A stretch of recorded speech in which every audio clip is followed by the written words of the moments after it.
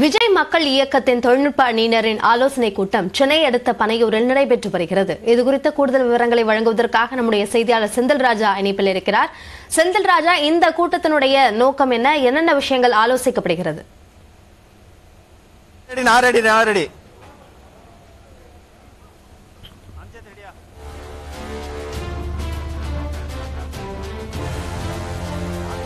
இன்று விஜய் மக்கள் இயக்கத்துடைய தொழில்நுட்ப அணியின் கூட்டம் வந்து நடைபெறுகிறது. அதாவது விஜய் மக்கள் இயக்கத்தில் பத்து அணிகள் இருக்கின்றன. மாணவர் அணி இளைஞர் அணி மகளிர் அணி தொழில்நுட்ப அணி வழக்கறிஞர் அணி என பத்து அணிகள் இருக்கின்றன. இந்த அணிகளுக்கான ஆலோசனை கூட்டம் ஒரு குறிப்பிட்ட இடைவேளைக்கு மத்தியில் வந்து நடைபெற்று வருகிறது.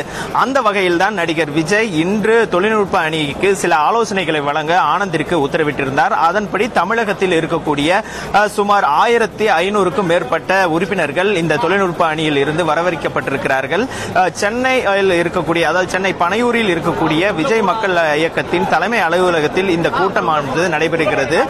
இன்று காலை முதலேயே இந்த உறுப்பினர்கள் அனைவரும் இங்கு வரவேற்கப்பட்டு அவர்கள் ஆலோசனைக்காக அந்த கூட்டத்திற்காக காத்திருக்கிறார்கள். இன்னும் கிட்டத்தட்ட ஒரு ஐந்து நிமிடங்களில் இந்த கூட்டம் வந்து தொடங்க இருக்கிறது. இந்த கூட்டத்திற்கு ஆனந்த் தலைமை வகிக்கிறார்.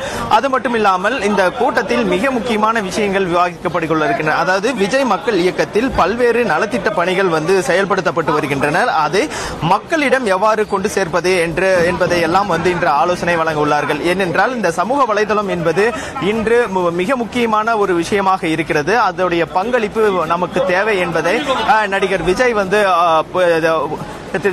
அந்த ஆலோசனை வந்து வழங்க திட்டமிட்டு இருக்கிறார் இதன் காரணமாக தான் இந்த ஆலோசனை கூட்டம் என்பது நடைபெற இருக்கிறது. அதில் இந்த இயக்கத்தில் இருக்கக்கூடிய உறுப்பினர்கள் அதாவது இந்த விஜய் மக்கள் இயக்கத்தில் இருக்கக்கூடிய உறுப்பினர்கள் எவ்வாறு செயல்பட வேண்டும் ஏனால் அந்த நிறைய விவாதம் ஆகிறது சில கருத்துக்கள் வந்து எதிரான நடிகர்களோ அல்லது யாரும் அந்த கருத்து தெரிவிக்கும் பொழுதோ அந்த விமர்சனங்களை எவ்வாறு சந்திக்க வேண்டும் என்பது குறித்தெல்லாம் வந்து பேச இருக்கிறார்கள்.